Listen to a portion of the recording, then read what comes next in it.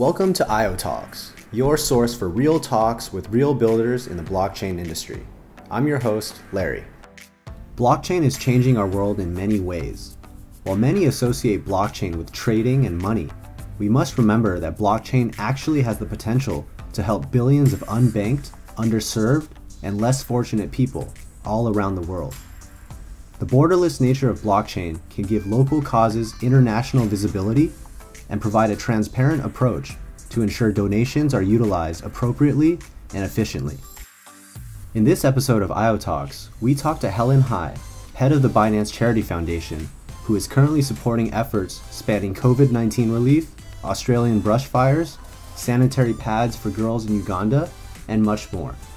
We discuss blockchain's impact on the charity landscape, as well as a new partnership between IoTeX and Binance Charity Foundation to donate staking rewards for charity.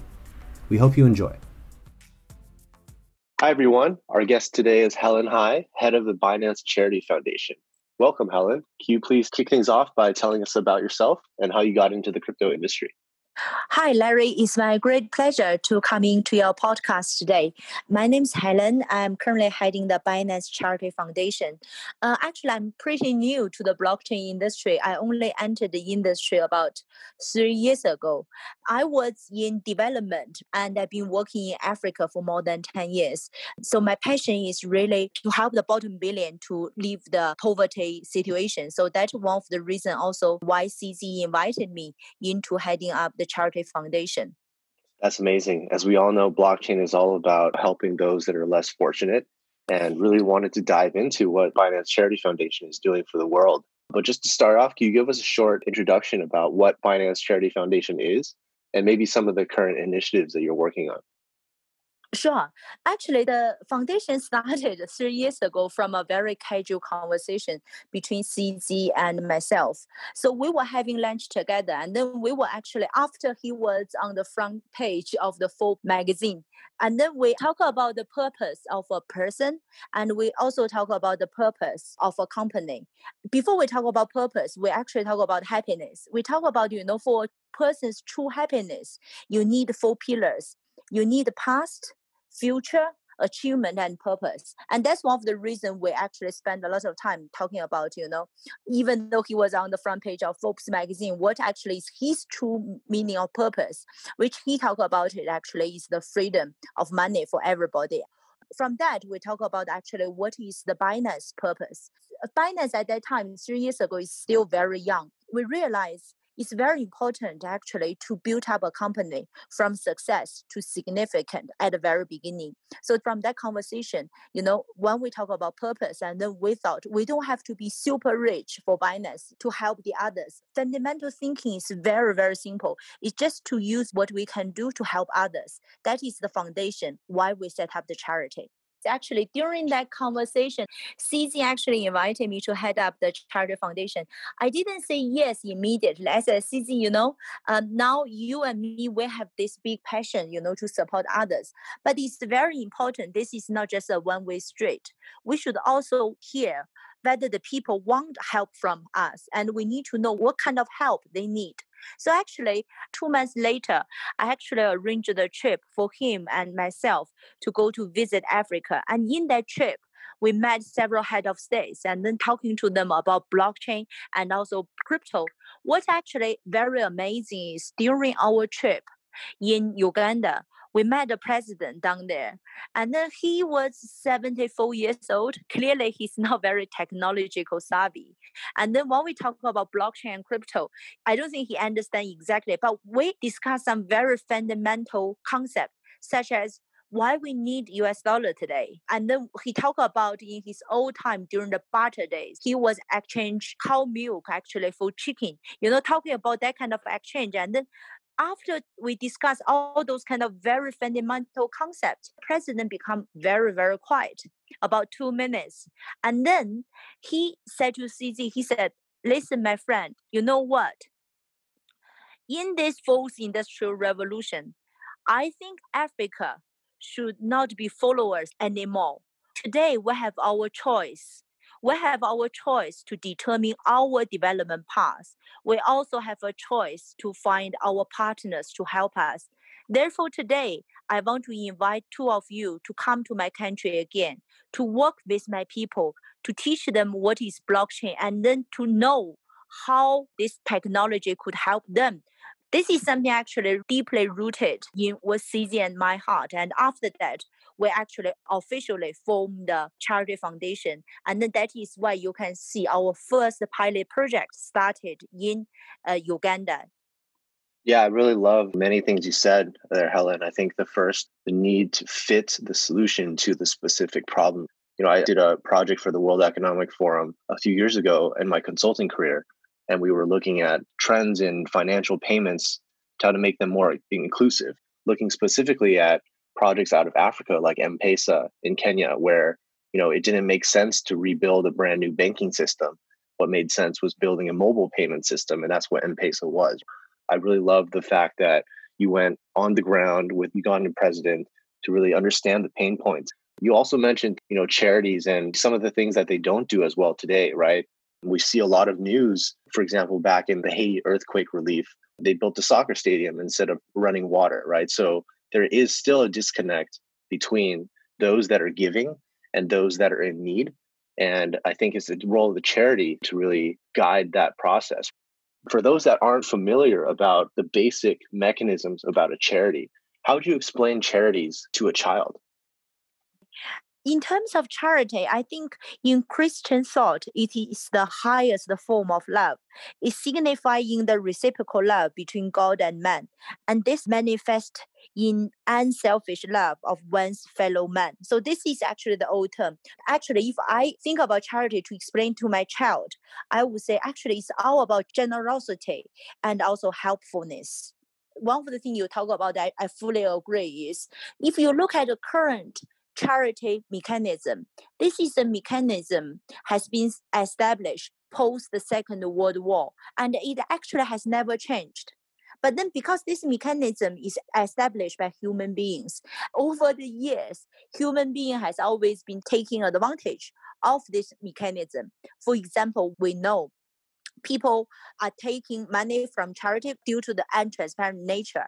And whether all the money and all the support really go into the end beneficiary how the intermediary being benefited from it i think that has been a very big challenge in today's term. I give you some numbers.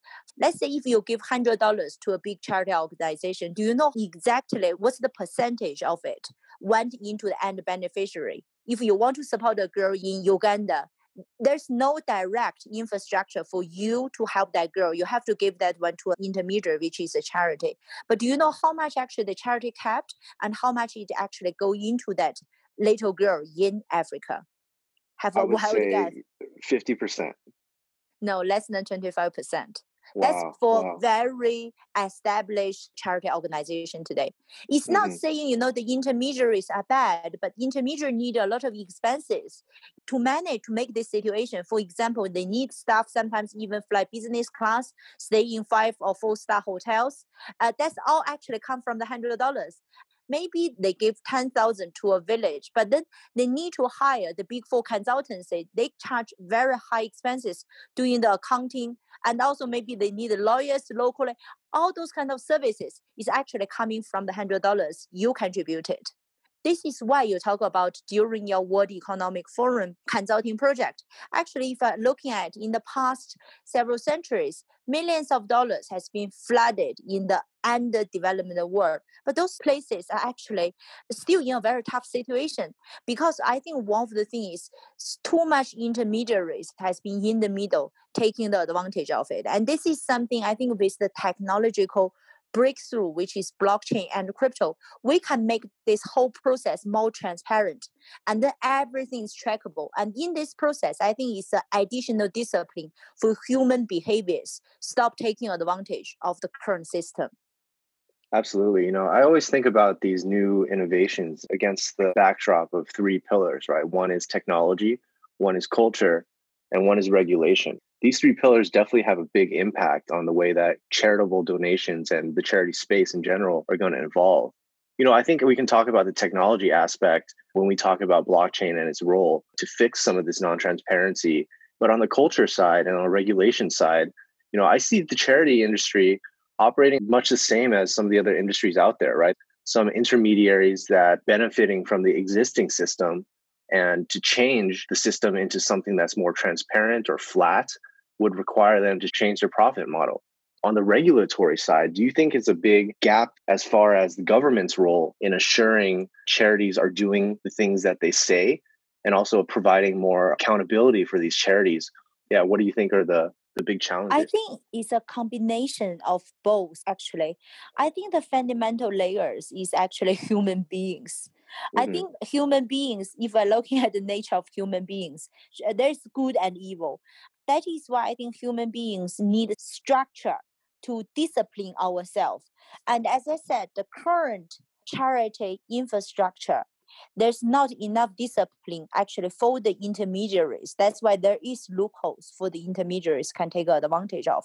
And this is something I think with technology, we are going to learn how to work with machineries. And the machinery is going to add a new layer for the human behavior discipline. I think once the transparent infrastructure is set it up, this is actually going to work backwards to help human beings to do the right thing.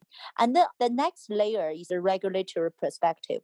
I think on the regulatory perspective, currently there is an information asymmetry because a, a lot of regulators they don't understand technology and that's why to educate them is actually also taking time because without that right knowledge they cannot put the right regulation into the space.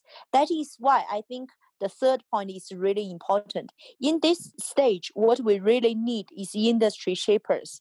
And that is how Binance and Binance Charity, we position ourselves as industry shapers we want to engage with the regulators and we want to work with the local people and then we want to work with all the people around it to form the new ecosystem to people believe in this quick success and then we can doing a bigger snowballing effect this is how we position ourselves Absolutely. Just getting started with something that's tangible and digestible for people is very important.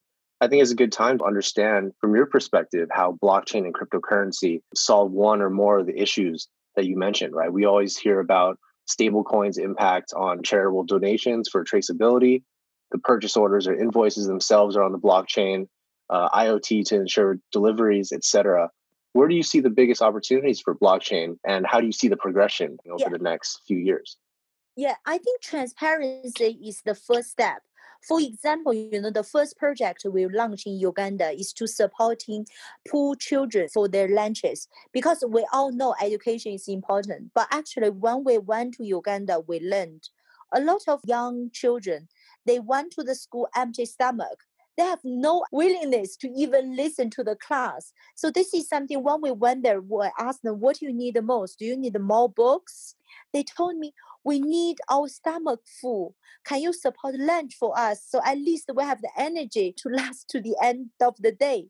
So that's we started the free lunch for children at school, you know, providing them free lunches. And then going back to the example I gave to you, if you give hundred dollars to a charity foundation saying, Hey, I want to support all those poor children in Africa for their lunches, you have no idea how much of the hundred dollars actually turn into the food into a children's plate but in our charity foundation i can tell you 93% of your hundred dollars turn into food into children's plate and the 7% is the cost we pay for local people preparing that food there's no government official corruptions and Binance is not taking a single penny from your hundred dollars. And we're not only saying this because everything is transparently recorded on the blockchain. We didn't use any big four consulting company. We didn't use your hundred dollars to pay for that. We didn't use your hundred dollars to pay for our flight ticket. So everything we're not saying it, everything is transparently recorded on the blockchain system, you can verify it yourself. So this is the power of actually the technology. And we think this is a huge saving of the efficiency and effectiveness of your generosity. You know, just to repeat that statistic, 25% of effective donations versus 93% of effective donations going towards the end cause. I think that's really, really incredible what you've done. You talked about two important pillars of addressing these shortcomings today, right? You talked about making sure donations benefit end users and not the executives in between. And that's through on the ground work to understand what is really important to them. You also talked about the transparency and the accountability side of things, putting these records on the blockchain so they're verifiable by everyone. I think another very big opportunity for Binance is just your global footprint. You have Binance Exchange in all of these different countries with community members around the world. How do you guys plan to take that global community and break down the borders associated with charity as well? That's a very good question. I want to even deep dive on that concept.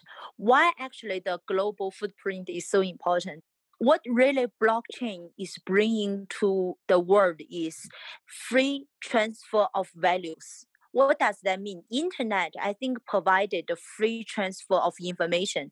For example, whether you are in Colombia, Mexico, or Uganda, you can access information freely. This actually is unthinkable, you know, 20 years ago, because 20 years ago, you have to rely maybe on newspaper and then maybe they hide certain things. You don't know what's the real situation. That actually is what internet brought the revolution to the human history. But what I believe in the coming 10, 20 years, the new revolution blockchain brought to human being is the free transfer of values.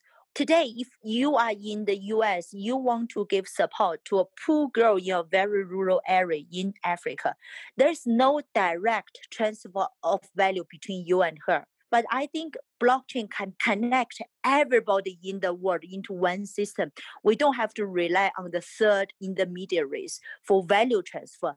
Today, the fundamental issue is the bottom billion people, they don't even exist today in the financial infrastructure. They don't even have an identity. So in our project started in Africa, you know, while we're supporting this lunch for those poor children, what is very important is we're actually building the fundamental infrastructure for the future value transfer providing people the crypto ID, I think is building the fundamental infrastructure for the blockchain revolution. And this is very important, you know, for the global footprint actually for Binance.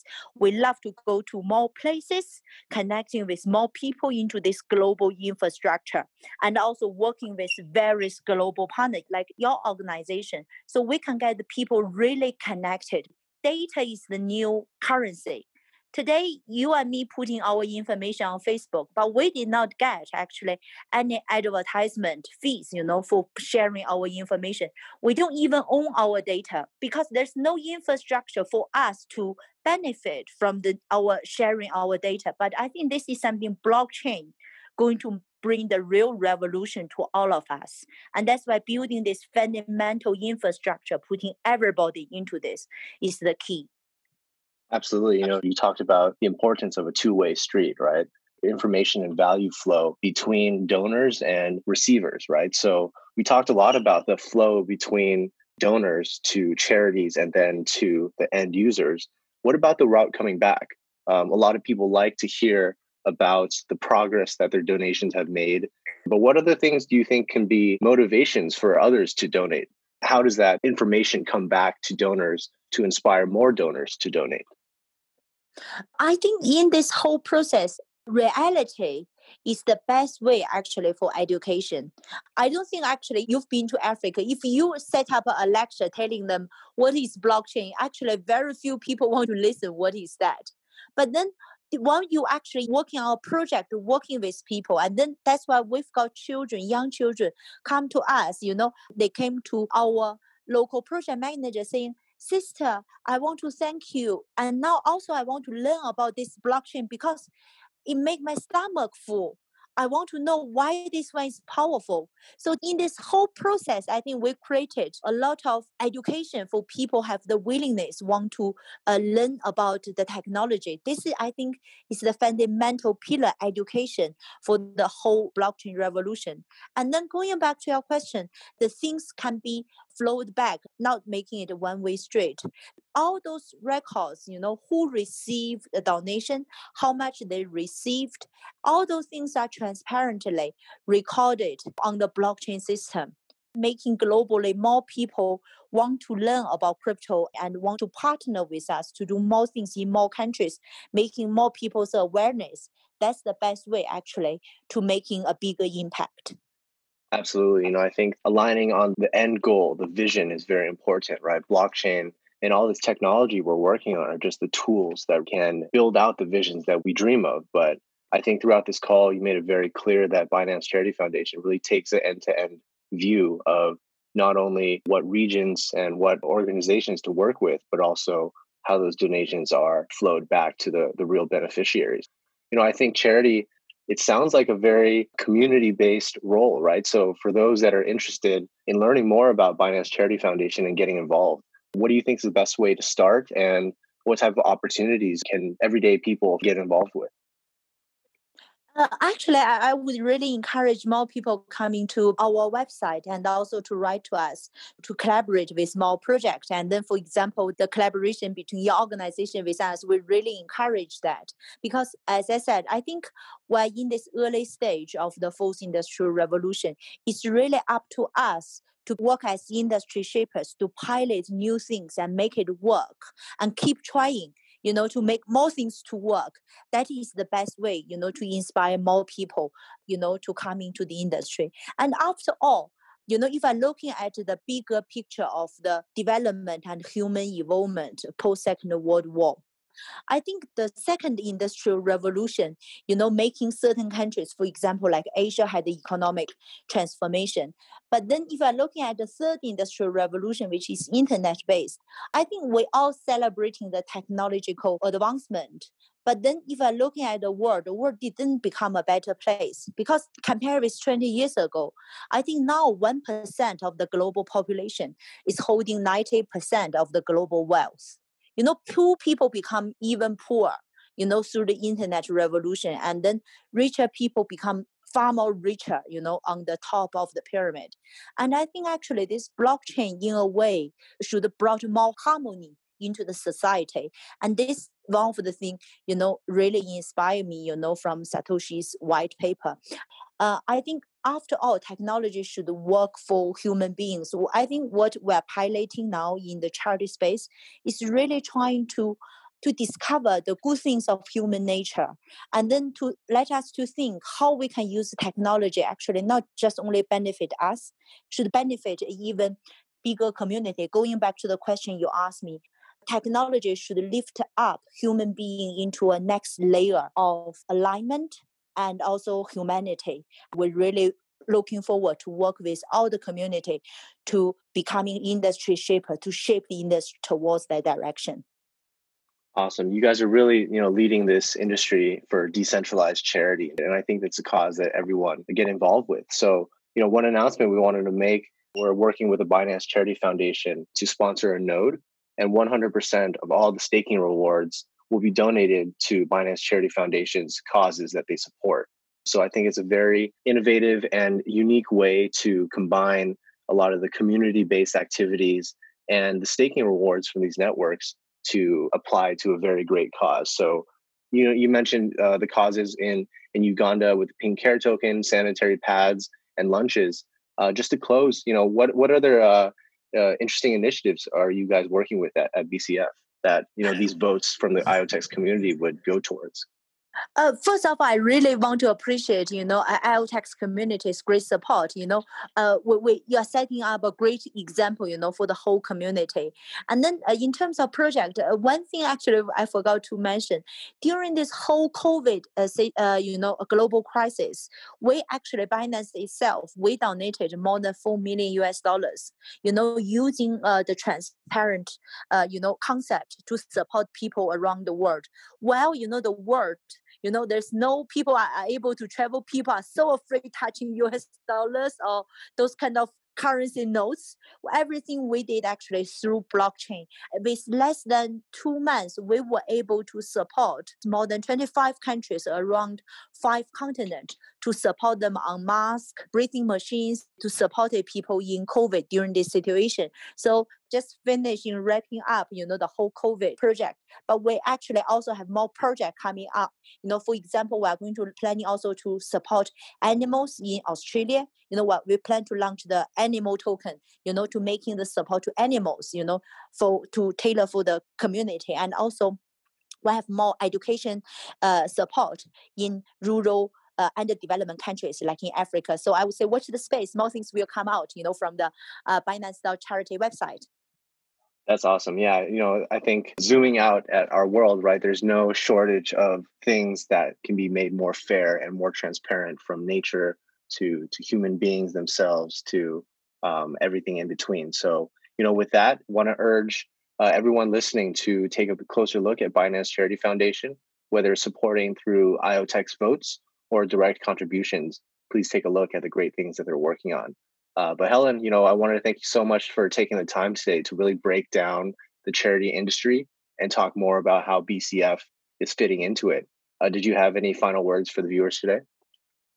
No, I just want to thank you for you inviting me to the podcast and thank you for your community's uh, support. You know, let's work together to make a, a difference for our generation and our future generation. You heard it from Helen. So everyone get on board with this charitable mission and yeah, thanks you so much again uh, for joining today, Helen. Thank you.